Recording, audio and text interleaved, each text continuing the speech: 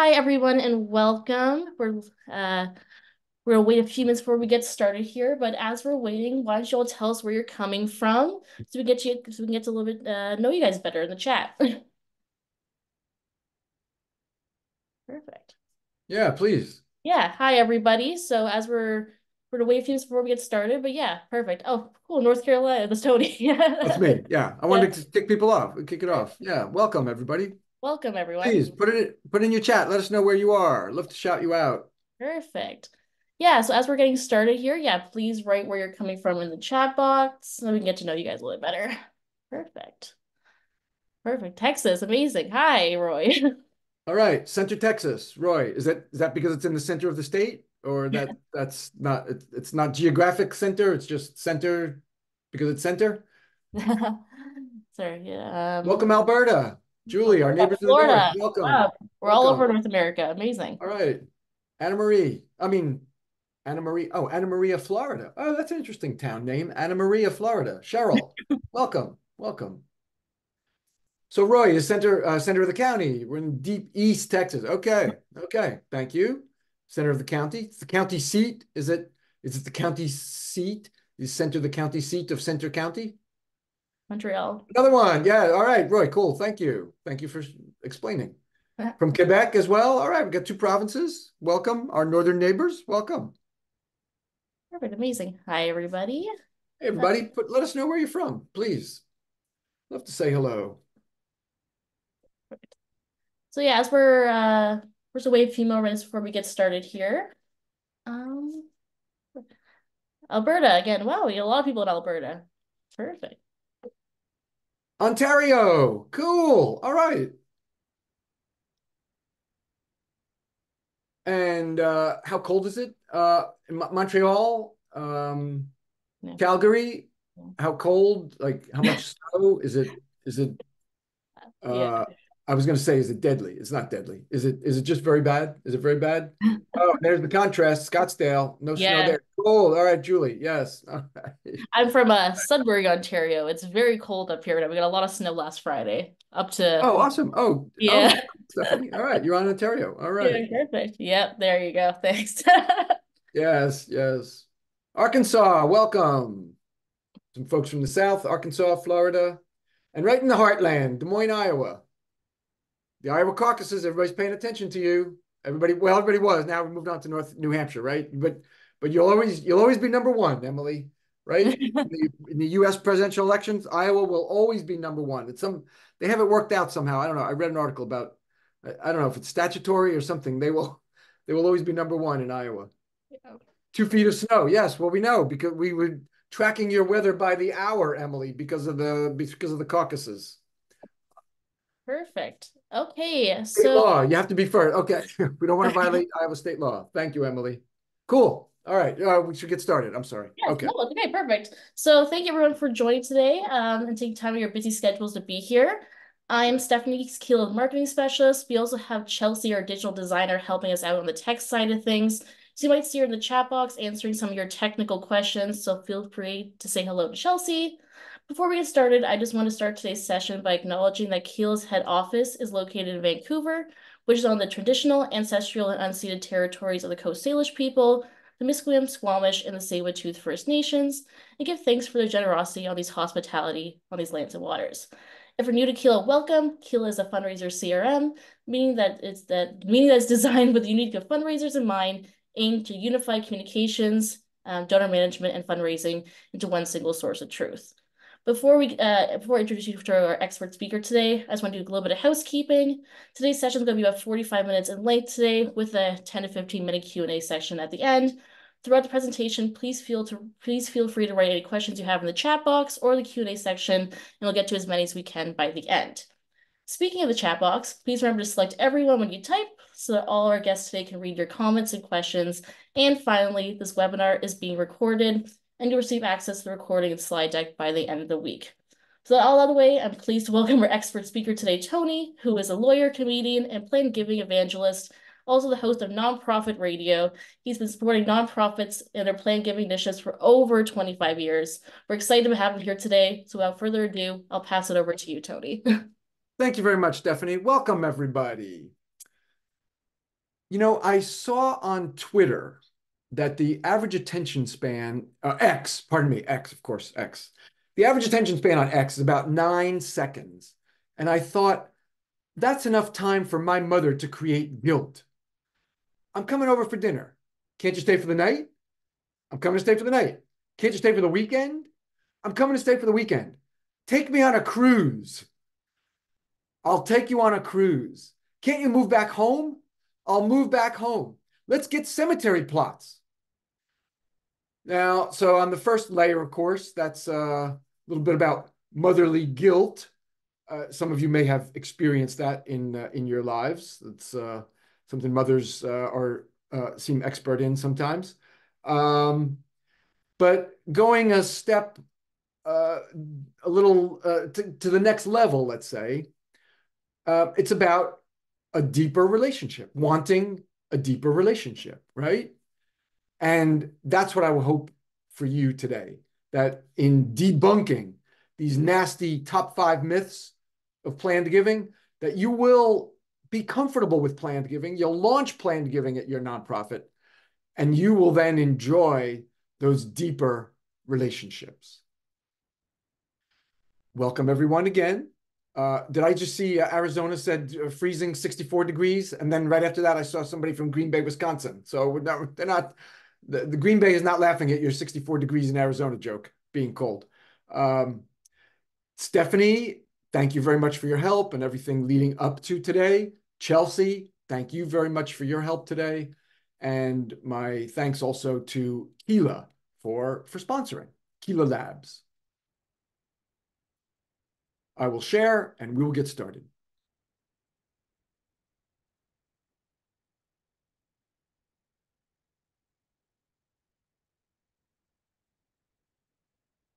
Alrighty, we're going to debunk these nasty, insidious top five myths.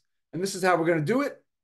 We'll take a look at the what and why of planned giving to make sure everybody's level playing field, same page, whatever whatever metaphor you like to use for everybody being parallel tracks. There's another three right off the top of my head. Uh, who are your best prospects for planned giving? Uh, how to get started in planned giving? Marketing tips for you?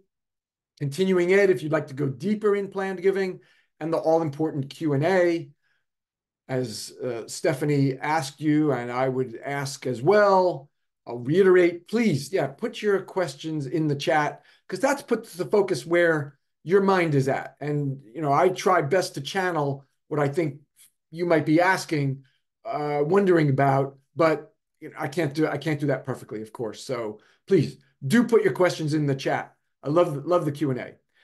And as we go through this, of course, we will be debunking these hateful myths So the what and why. Uh, what is this planned giving? So when people are thinking about making a planned gift, and when you're embarking on planned giving fundraising, you're going to be talking to folks who are going to think about how your work fits inside their long-term plans for their dear loved ones.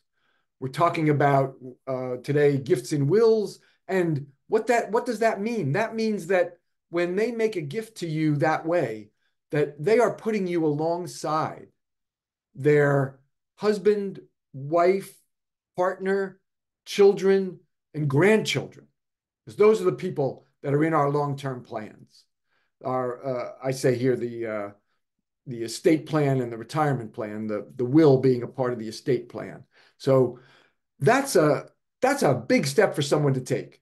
And so it's important that you be talking to the right people about a planned gift, and we're going to get to that very, very momentarily, who are the best prospects. But that's really what they're thinking about, how your work fits alongside their loved ones in their retirement plan and their estate plan. And for today, the gift that we're going to be focusing on, these are gifts of cash to your nonprofit at the donor's death. There are other types of planned giving, other methods. We're not going to be talking about those. They can be valuable, but we're going to focus on the most popular, the easiest. Uh, so that it's long term, right? These are all long term gifts because it's a gift of cash uh, at the donor's death. And why do I think plan giving is valuable? Well, hopefully you don't need too much motivation, right? You're already here. We're 66 strong. Uh, so you know you you you do think it's important, but just you know, just in case, maybe, maybe, a couple of in case we have any uh, skeptics out there. Sustainability. This is all to help the sustainability, the long term for your mission, your work, your values in the long term for your community, however you define community. It might be your local community in Central Texas. Uh, it might be the state of Iowa. It might be the province of Alberta. Whatever it is, however you define community, how important your work is for decades and generations to come in that community. That's your sustainability, right? And planned giving helps that, supports that very well because it helps you to either grow your endowment or launch your endowment. And endowment is that savings account, you know, that we only spend the income of each year and maybe not even all the income in, in some years. But if you have zero endowment, zero, you've got, you've got, you've, you've not got that savings account. I promise you, the, the biggest charities you can think of in wherever you are, the biggest ones.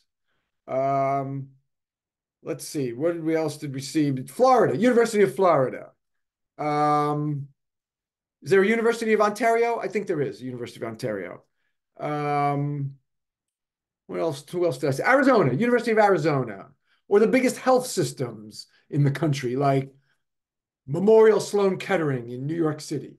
They all had zero endowment at some point, right? It's axiomatic. They had to start somewhere. It's not a point of discouragement for you if you don't have an endowment or if you have a small endowment. Planned giving can help you grow that endowment. It's ideal for that. So you don't want to be discouraged if you're not satisfied with where your endowment is because you're here to learn how to grow that endowment. And if you have an endowment that's robust, planned giving will embellish it, make it even larger. So who are these best prospects, right? Because you want to make sure that you're talking to the right people about a planned gift. These are the people who love your work. They are committed to you. They are your committed, consistent, loyal donors. And that's how you know that they love your work because these folks have been giving to you. If your organization has been around for decades, they've been giving to you for decades. And sometimes you'll see people who have given to you for 20, 25 years. And in that, let's say 25 years, you'll see 30, 35 gifts, maybe 40 gifts. They're doing multiple gifts in some years. That's how committed they are. That's how much they love your work. So, and if your nonprofit is not that old and it doesn't need to be, I like to see at least five years in a nonprofit uh, history so that people are comfortable knowing that your work is going to continue after themselves, right? The, the sustainability of your work is pretty, you know, the, uh, is pretty well assured. Um, so I like to see at least five years. And beyond that, you know, I've, of course, there are organizations that are 100 years old. So you know, you may have people who've been giving to you for 30, 40 years easily, right? It's your consistent loyal donors. And I like to work with people, start talking to uh, folks about planned gifts when they're roughly 55 to 60 and over. Okay. And the reason I pick that range is because that's the ages at which people start thinking about their estate plans as a method of giving back to the causes that have been important to them. Now, notice I didn't say that's when they you start planning your estate and you're thinking about your will. No, that should be many decades earlier, many, especially if they have children. But as a method of giving back, that's roughly the age at which people start thinking about doing that uh, in their in their long term plans uh, and and in their wills specifically. But if you don't have age in your CRM database, don't worry about it. Don't worry about it. It, it's just like having zero endowment. Don't be discouraged. Not like you can't do planned giving. Not at all. Just use giving history as a proxy. Just just go with the giving history. So if you have age, you know, like some um, some uh, well, not necessarily university, some education nonprofits, right? Doesn't matter what level, could be grade schools or high schools or colleges, universities. You know, they may they they will have age. Uh, lots of hospital systems have age. Um, some other some other organizations I've worked with, they just you know they ask people's birthdays because they like to celebrate the birthdays. That's happens to be a good stewardship idea. If you're if you have the bandwidth to call people or send cards or acknowledge their birthdays each year, it's it's a very good idea to ask what's your birthday. But if you can't do it, you know, if you're not going to be able to keep up with it, then then don't ask. Um, so there are organizations that have age, but if you don't, it doesn't matter. Just use the giving history. You'll be fine. Oh, and your board. Before I click away there, uh, yeah, new fundraising initiative, right? Planned giving. I like to see 100% participation on the board. Some I've worked with some organizations, they don't get there, but that's the goal. I like to see everyone on the board have a gift of some type, and we're talking today about gifts and wills. So uh, some type of planned gift, though, while they're on the board. What they do after, you know, that's their own choice. But I like to see 100% participation among the board because they're your committed volunteers. They're your they're your fiduciaries, right? They're the they're the presumably they are the most loyal to your organization. They they they devote their time, uh, their talent and their money, time, talent, treasure, um, and maybe tips and testimonials too. So, you know, they should be the most committed volunteers that you have. So I do think that uh, they should be on board with your new planned giving initiative. Here's our nasty, insidious, hateful, spiteful myth that I can't stand. Number one, the myth that this is only for your wealthy donors. Completely untrue. Absolutely untrue. When I was talking about searching for giving histories, for consistency and loyalty, did I say anything about the size of those gifts? I did not. I don't care if those were $1 gifts. I don't care if they were $5 gifts. I don't care if there's 40 $1 gifts over 25, 30, 40 years. And that's pretty extreme, like $1 a year. But I don't care if you find somebody who fits that hypothetical, they are thinking about you so, so often. They are a very good prospect for a gift in their will.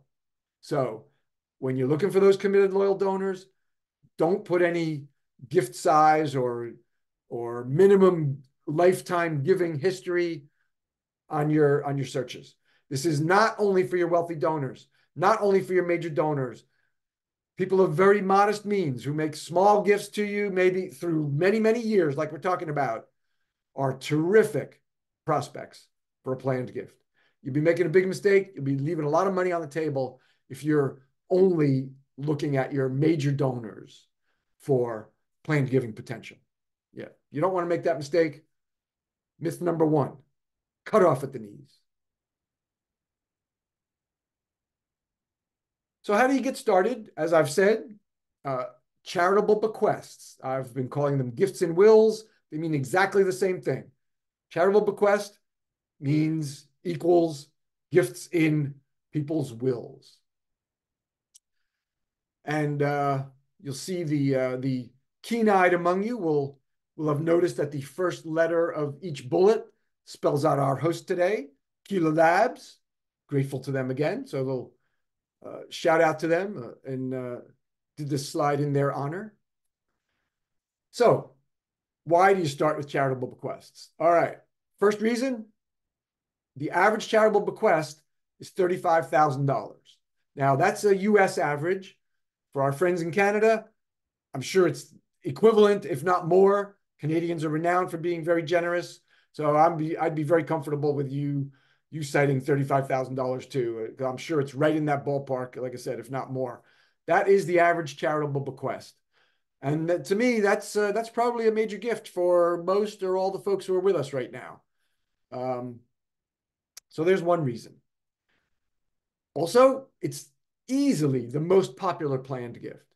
You should expect throughout your nonprofit's history of planned giving, which hopefully is going to launch. Uh, you know, I mean, give yourself some time.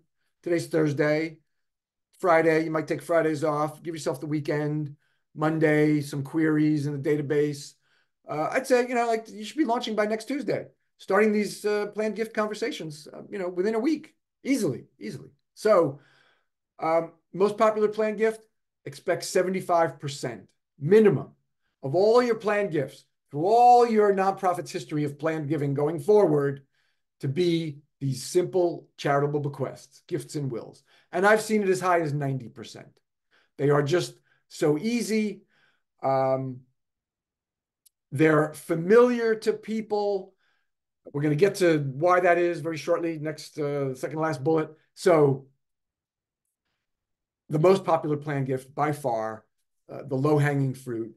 And uh, those big, those big nonprofit programs that I mentioned earlier, where did I say? University of Florida, University of Arizona, University of uh, Ontario, University of Texas. Name another big Cleveland Clinic. There we go. Uh, another big medical center besides the the one in New York, uh, Memorial Sloan Kettering. I assure you, their planned giving programs. I mean, they're robust. You know, they have half a dozen or more people in each one of them doing planned giving fundraising. I assure you, by far, their most popular planned gift is these gifts and wills. So 75% minimum. Expect cash 99% of the time. Yes, I say this because there may be naysayers out there. You know, you're doing your queries on, uh, we say Monday, right? You're going to be querying your database for those committed loyal donors on Monday. And uh, you tell some of the folks in the office, or maybe uh, maybe a board member comes by and because some, sometimes the board members can be a little difficult planned giving. Uh, oh, the naysayers, whoever it is, whoever it is, the naysayers, they start whining. Oh, no, we can't do planned giving. We can't ask for gifts and wills. No, because you know what's going to happen? People are going to leave us gifts in their wills that we can't use, like their worthless Hummel collection or their junker cars. It's going to be terrible if we do planned giving. Stop Stop what you're doing. You can't start the conversations tomorrow on Tuesday. No, no, it's going to be awful. Okay. Aside from these uh, insidious myths, uh, we want to cut these naysayers' arguments off at the knees also. Not the naysayers. Don't cut them off the knees. Their arguments, their naysaying rhetoric, we're going to cut that off. Because you're, the likelihood of you getting something that you cannot use is extraordinarily rare low, I should say, right? Stay within likelihood is low. You don't want to say likelihood is rare. I don't think you want to do it that way. The likelihood is low. The poss the the uh, the uh, what would be rare? The possibility is rare. It's a it's a low probability. Why am I getting hung up on this? I don't know. I've been doing this for 27 years since 1997. Easily, 99% of the gifts I've seen are just. It's not 100% because I've seen some other gifts, but they haven't been worthless. The point is, you're going to get gifts of the most, oh my gosh, the easiest resource, the most valuable gift for you to get is going to be gifts of cash. That's what's going to come in people's wills. So please defeat the naysayers. Continue on next Tuesday, starting your conversations. Uh, it's likely you won't be told that's because for every gift in a will that you find out about, that you that someone tells you, you're in my will, there's another seven to eight folks who also have you in their will, but they're just never going to tell you. It's just too personal, too private for some people. They they just don't want to share that you're in their will. You're there, but they're just never going to tell you. So another seven to eight for every one that you know about, which is a pretty encouraging ratio. Ask donors to talk to their attorneys. That's if the conversation should start to get technical, like how do, you know, wh which part of my will do I put you in? Does I get outright or is it a percentage, dollar amount, a percentage? That's a conversation where you would politely refer them to their attorney because the conversations that you're going to be having with folks are not about wills technicalities. You're going to have conversations with folks about what the two of you, I'm putting you and a donor now. You're having a face to face meeting with a committed, loyal donor, and you want to raise this possibility of planned uh, a planned gift, a gift in their will, gift we're talking about today, the place to start. Um, and um, you, I lost my spot here now. Oh, what you're talking to them about. Thank you. Sorry. You're talking to them about what you and your donor have in common your work. You know they love your work because they're committed, loyal donors to it. That's why these are those are the right prospects to, to, to look for, those committed, loyal donors. You know they love your work. They've been supporting it for a long, long time, could be decades. That's what you have in common with your donors. And that's what the conversation is about. Remember the sustainability of your work, how important your work is in the community, how important it is that that work continue for decades and generations. That's the work. That's the conversation that you are having with your potential planned gift donors. Okay, so that's what you're talking about, not technical wills things. And that should also allay some concerns too. Like um, if you're maybe Gen Z or Gen X or millennial and you're worried about talking to people who are your grandparents or parents' ages about this, you're talking about what you two have in common, your work. Okay. So it's not a death conversation, certainly not a death conversation. Absolutely not. It's actually a conversation about life, the life of your nonprofit, the sustainability of your nonprofit for decades and generations. That's what this whole conversation is about. So I focus on that because I know there were concerns there, regardless of age, about you know, how do we talk to people? What, what are we going to say? I don't know anything about wills. You don't need to. For the next bullet, it's best because it's so easy for your team and your donors.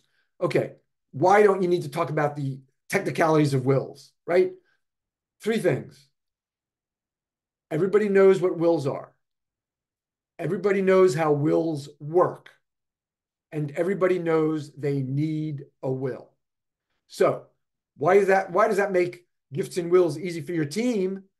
You don't have to educate your team about the nuances of charitable remainder unitrust with net income makeup provisions, which is an actual thing. I didn't just string a whole bunch of words together. That actually exists. But you don't have to worry about the nuances of that versus charitable gift annuities and how does life insurance work and fit in. Everybody knows what wills are. Everybody knows how wills work. Everybody knows they need to have a will. So you don't have to educate your team about planned giving technicalities and you don't have to educate your donors. You don't have to dedicate marketing time and money to all those things I just described, the charitable remainder unit, remainder unitrust with net income makeup provisions. Wills, wills. Those three features about wills are going to hold you perfectly, hold you in good stead. That's why, that was yet another reason why gifts and wills, charitable bequests, are the place to start your planned giving fundraising. And so you never need to offer other gift types beyond the wills. Because of debunked myth number two, the myth being that we have to offer lots of planned gift alternatives, options. Oh, there's so much out there. It's it's legal, it's financial, it's calculators and life income and tax deductions and uh, it's, it's me channeling more naysaying, right? No, no. You start with gifts and wills, and you don't ever have to go any further than gifts and wills. 20 years from now, your nonprofit is still promoting only gifts in wills. Right? You will have captured at least 75% of the gifts that you would have gotten if you had offered the other gift options. Because I assure you, right? That's the minimum. 75% of all the planned gifts are going to be gifts in wills. So you don't need to go further if you don't want to. If you do want to, you can in the future, out years, but take comfort knowing you don't need to. So, nasty myth number two you do not have to offer lots of gift options now or ever. Are these slides too subtle? Is, this message coming through okay? You can read that all right? You know, the mirroring and everything. It's, it's not too subtle. Okay. Okay. I didn't think so. And coming on the heels of number two, of course, that uh, it's it's corollary that plan giving is too technical. No, it's going to be so hard for us. All the reasons I just described. You don't have to teach your team, and you don't have to teach your donors. Remember those three features of wills. You're probably getting tired of me reciting them, so I'm not going to recite them. Uh, whether it be a third or fourth time, you got them down. Everybody knows what wills are. Everybody knows how wills work. Everybody knows they need a will, just in case you need a re refresher. All right. It's not technical when you start smart. Gifts and wills. So this is where we are so far. Uh, we've, uh, you know, the what and why, the best prospects, how to get started. Okay. And we've debunked three of these uh, top five insidious myths. This is straight up vodka, by the way. Uh, it's not, not water. And we got a little more to do. Myth number four, we're knocking them off. Plan giving requires a lot of money. Close corollary to numbers one through three, especially correlated to numbers two and three, I would say. It does not require a lot of money. I'm about to give you a bunch of marketing strategies that are low lift, low cost. So, myth number four cut off at the knees. Let's start with some of those marketing ideas. Events you might be drafting the speaking points or somebody else might be. You can put a few lines in and literally few lines, a few sentences about how easy it is for folks to include you in their will. Um, and you can do the same in your in the sidebar for your uh, for your program. But whatever, I, am sorry, in the pro, do the same in the program for your event. What did I say? In the sidebar for your program? No, you want to use a sidebar in the program for your event some misplaced uh, prepositions there. Sorry. Well, and the subjects were wrong too. So um, it's as easy as some along these lines. You all you all know how important it is. This is your speaker because you've drafted concise speaking points for gifts and wills for the for your next speaker. Um, you all know how important our our work is to the community. Uh, you you wouldn't be here if you didn't recognize how essential we are uh, for the community. And it's essential that our work continue, you know, for decades and generations. And we're starting to focus on that now. And in focusing on that, we're encouraging long-term gifts.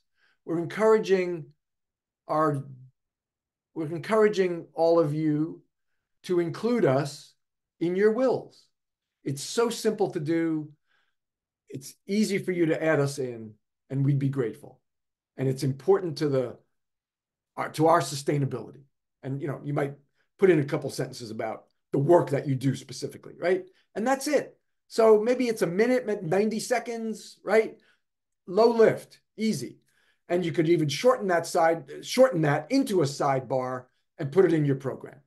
Okay, there we go. Print. Uh, so now we're, we're uh, in print. Sidebars. Oh, sidebars sidebars of articles. Look, talk about talk about uh, mistakes. This is egregious. That's supposed to be sidebars or articles or. I believe Keela is going to send you a survey. Uh, if they do, you should flag this. Slide number 12. The guy, uh, he was a nice guy, but I, you know, I can't really remember his name. But uh, you know, he had a mistake on slide 12. Egregious. All right, let, us try to overcome that. Try, try, please try to forgive me. Look past that. Sidebars or articles in your newsletter and your annual report. Uh, I'm a big fan of the sidebars because a sidebar is like 40, 50 words, right? Articles, 250, 300 words.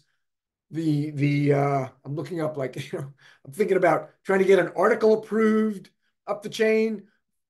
No, that's supposed to be a comma, not a semicolon. Why, why did you put a semicolon there? But everybody knows that should be a comma. Versus uh, sidebars. So much easier to get approved, so much quicker to draft, right? Okay, so I prefer the sidebars, but if you're tasked uh, to write an article, I hope you're not, but uh, you don't need it. You don't need it. So sidebars or articles in whatever, you know, whatever print channels you've got. Your annual report, if you're recognizing other donors, you know, at different giving levels in your annual report. And uh, believe me, I understand the agony of that. Uh, uh, do we have the spelling right? I I know that's how it is in the CRM, but but didn't she email us and tell us that we've had it wrong for 12 years we've been misspelling her name.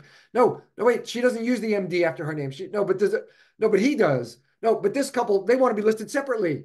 But this other couple wants to be listed as a couple. But but it's not Mr. and Mrs. Uh, so I I uh I've sat in those meetings around a conference table um, and and agonized over those details. But if you're doing that, going through that exercise for your other donors, then you certainly should be doing the same for your planned giving donors, right? You shouldn't exclude them. It's just simple stewardship if you're doing it for all the others. And you would be inviting other people to, to join them as well, to uh, with a gift uh, in, in their wills. Uh, digital uh, repurposed sidebars. Yes, please. Um, again, sidebars, so much easier. Um, a simple page on your website so the repurpose is, you know, any digital channels you've got. Uh, use those, reuse those sidebars. Um, simple page on your website. Yeah, you know, one page is usually sufficient, maybe two. I'll give you two. You don't need more than that. You don't need to pay these companies that are charging like $750 a quarter and they have plan giving encyclopedias and all the calculators that I mentioned before, the, the income calculator and the tax calculator, and, and people can do research on the nuances and the intricacies of the different methods of plan giving. You don't need to pay for all that. You don't need it because you're focusing on simple gifts and wills, right? Don't worry, I'm not going to recite the three features of wills again. I know you were thinking, oh my God, he's going to say it again. I'm not. Um, but what's so, so what does belong on your simple page, or maybe two, uh, some pull quotes from donors who have done this, who have included you in their will. Pull quote, you know, short uh, about uh, how easy it was for them to do or how much they value your work. Maybe picture picture or two of a, a donor donor couple things like that. Certainly want a couple sentences about the importance of your work in the community and how important it is that that work be sustainable. Um, and then maybe a contact person you know that's it. And remember that contact person they're not going to be talking about technicalities of wills. They're going to be talking if they get a call or an email they're going to be talking about the importance of the sustainability of your work in the community and how valuable these long-term gifts are to that. That's what they're going to be talking about. So you're not setting your person up for uh, your contact person up for conversations they can't handle. That they would just refer to the refer the donors to their attorneys for anything technical. And finally, quick, uh, easy. Uh, anybody could put in their email signature that uh, you can include us in your will and it's easy. And maybe, you know, maybe that links to the page on your website. Uh, direct mail. So now here I'm envisioning direct mail that's devoted to some other purpose, not planned giving devoted. So drop a buck slip in whatever package, you know, for whatever purpose you're mailing. Um, and buck slip by buck slip, I mean something that gets printed three on a page. Now, three on a page. What looks like three on a page? What looks like a third of a page? A sidebar. Rehash those sidebars. Wait, uh, it's not rehash. It's rehash is not so good. Rehash is kind of that sounds a little negative, a little pejorative. Rehash sounds like oh they're going over it again. Repurpose. That's what you want to do. You don't want to rehash. You want to repurpose. So repurpose those sidebars. Make them into a buck slip. You're dropping a third of a page into your mail package. It doesn't change the postage costs. No increase in postage. Simple, third of a page. Maybe it's a different color to bring attention to it, but that's it. Different, easy. And uh, my other suggestion here, use your reply envelope flaps for self-selection checkoff. What do I mean there? The next time you do a big order of reply envelopes. Now, in the States, uh, this won't apply. This cannot apply to the BREs, the business reply envelopes that have that postage indicia on there because the U.S. Postal Service is very uh, fastidious. Let's work, let's, work, let's work the word fastidious in. Scrupulous. That's another good word. Let's work that into. They're fastidious and scrupulous about what goes on their business reply envelopes. You know, the ones with the, the marketing, right, with the postage or the bars. So um, you wouldn't be able to do it on those. But if you have other types of reply envelopes, you know, they're pre-addressed back to you, then on the flap, you on the envelope flap, you have printed because you're already doing the run of envelopes anyway. you have printed a little checkoff box. Please send me information on including your organization's name in my will. That's it. They check a box as they're as they're sealing the envelope. So um, then when of course the envelopes come back, you know, whoever opens your mail needs to know that they're supposed to bring to you the flaps. Well, no, here's a stack of envelope flaps. Uh, oh no, you didn't you didn't tell me to save the envelopes or preserve the name of the person who did the checkoff. You you just said save the envelope flaps. Here, I got I got 20 envelope flaps with people check them off.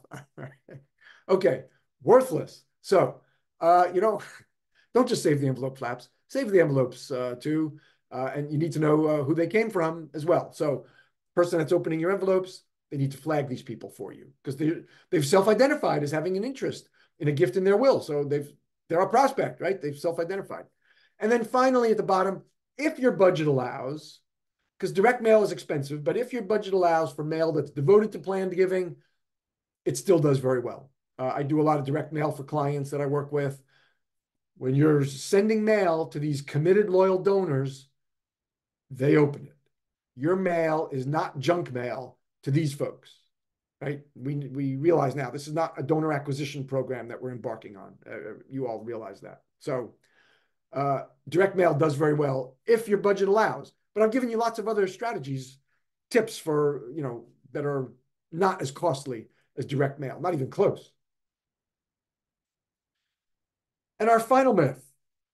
Oh, that planned giving that hurt our other fundraising. Yes, I'm channeling the naysayers again. Oh, our annual fund is going to suffer. Our major gifts are going to suffer. Our sustainers are going to take away their monthly giving because they're going to put us in their will and cut us off. And then we're not going to see anything until they've died. Okay, naysayer. Sorry. Well, I'm not even really very sorry.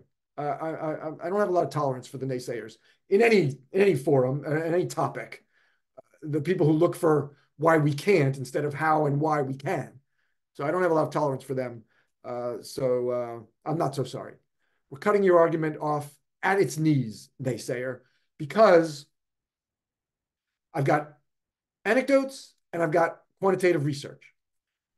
I've been doing plan giving for 27 years, since 1997. I have seen thousands of people through those years who have told a nonprofit that they have that nonprofit in their will, and then they have increased, increased their other giving. Now, why might somebody do that? What have they done when they put you in their will? Who are they along? Who are you alongside in their will? The donor's husband or wife or partner, children, grandchildren, and maybe even dear friends. Sometimes really good friends are in our wills. They've elevated you to that level. They feel pretty close to you. And so they increase their other giving. They do not decrease. Lots of people. I've seen it thousands of times. All right, you might say, well, let, us move on to the research because Tony Martignetti, uh, I think that was his name. I, am not sure, you know, but whatever. This is something long. And eh. he just had a bunch of anecdotes. He, 27 years of anecdotes. What am I going to do with anecdotes? 27 years, eh, you know, it's better than 15, but okay. You don't like the anecdotes? Then I refer you to the research of Professor Russell James at Texas Tech University. Uh, I wonder if Texas Tech is in Central County. No, uh, Texas Tech is not that far east. No. So Texas Tech University, Professor Russell James, his research topics are all around planned giving fundraising. He studied hundreds of nonprofits and in those nonprofits, when someone told that nonprofit that they had included the organization in their will, on average, 75% of the people who did that and said it to the nonprofit increased their other giving to that same nonprofit. 75%. So you've got 27 years of anecdotes from Tony Martignetti, and you've got the quantitative research from Professor Russell James. It's not going to hurt your other fundraising. Naysayer, go away. I don't have a lot of tolerance for the naysayers. So this is where we've been, folks. We've debunked those hateful, spiteful, insidious myths along with everything else there. I've got uh, a couple of suggestions if you want to learn more about planned giving, if you want to go deeper, and then the all important Q&A. I see chat 12. Uh, I hope a lot of those are questions. Please put those questions in the chat. So for continuing ed, if you like to read hardcover books, because I'm not sure this was digital because it's been around for a long time, uh, but it's a very good, simple book on planned giving. Planned Giving Simplified. It's aptly named. Robert Sharpe Sr. It's a very good book. Uh, I have a free how-to guide, Unleash the Game-Changing Power of Planned Giving at Your Nonprofit. Goes into more detail on some of what we talked about today. Uh, someone left a comment on LinkedIn today that it's it was it was excellent. It was he, he said it was concise, valuable. So just snap that QR code if you would like to get the free download of my how-to guide. Uh, and uh, if you want to go even deeper, work with me. I have a course called Planned Giving Accelerator in three months, March, April, and May. So we're done by the end of May. It's not going to cut into your summer plans. Over three months, I will guide you step by step how to launch planned giving at your nonprofit. We'll meet once a week for an hour on Zoom in a meeting format, meeting, not webinar format. So everybody's talking, not at the same time. It's not anarchy. It's planned giving accelerator, not planned giving anarchy. So um, people are helping each other. They're providing ideas, you know, bouncing ideas off each other because, you know, like peer support grows as the group gets more and more cohesive week after week. So if that sounds appealing to you, um, the information is at plannedgivingaccelerator.com. And because you joined this Keela webinar, you can use the code there in the last bullet of the last slide, Keela 1500, and you can claim $1,500 off your uh, tuition at the Planned Giving Accelerator in January, if you join in January. And again, we're getting started in early March together. So I'll leave that QR code just a couple seconds. And Stephanie, do we have questions in the chat? We do. Great. Thank you so much, Tony. That was amazing. Uh, we yeah, we do a few questions here. So first one from Cheryl. Um, do planned gifts always go to endowments? Is this the preferred vehicle for planned gifts? That's the first Cheryl, question. thank you for your question. Um, what I recommend is that as much as possible of your planned gifts go into endowment. I say that with comfort because most of the gifts in wills are unrestricted unrestricted gifts, probably more than three quarters, unrestricted dollars coming in. So when they do come, I urge you to put as much as possible into that endowment. Now, I understand, of course, there are immediate concerns, uh, immediate deadlines. We got to keep the lights on and the people paid and the rent, whatever. But as much as possible, put those unrestricted gifts in wills uh, into endowment. Amazing. So next question here is from Laura. One okay. One their organization uh, has debated is recognition. How how is the sorry, how sorry, how strongly do you recognize gifts we haven't received yet compared to the potential smaller major gifts we have received? Example, donor signatures. Um, and who is that from? This is from Laura. Laura. Okay, thank you, Laura. Um, stewardship, yeah. So you want to have a recognition society for your planned giving donors. Um, anybody who has told you that they've included you in their will, or they've checked a box on a reply card from a mailing that says they've included you, or they just pulled you aside and you know mentioned it in an event or something. Um, you know those po- those folks all belong belong in your plan giving recognition society. And then you want to what do you want to do with that recognition society? You want to treat those folks like you know insiders. Maybe if you have some communications that you only share with major donors. Why not? Why not uh, expand that to your plan giving donors as well, to that recognition society? So you know, and then as the society grows, you know, maybe you could host an event, but you know that would be the out years when you have a lot of people who have made these commitments, told you that they're that they have you in their wills. Um, but yeah, you want to have a recognition society. You want to steward those folks. Yeah. Perfect. Um, another question from John here. Do we need documentation of people putting our nonprofit in their will? Great question, John. Thank you. That is purely a in, an institutional decision. Uh, I've seen both sides. Um, some organizations like to give a a simple document. It's it's completely non-binding legally. It's not going to guarantee that the will gifted will be there. People can change their minds, but hardly anybody does it. Don't worry about that. It's like the last statistic I saw was like 4% of people who have a charitable bequest change their mind. So 96% of people don't. But um, to your question, John, um, some organizations will give a simple non-binding form. You know, what? Please share what you'd like about our gift, uh, about your gift, uh, what you want to share with us. Others completely hands off. You've told us, you checked a box. That's good enough. You sent us an email letting us know. You know, we preserve the communication if it, if it was that way and save it in the CRM database, but other organizations don't. So it's really it's purely institutional. I I, I could I could see it both ways.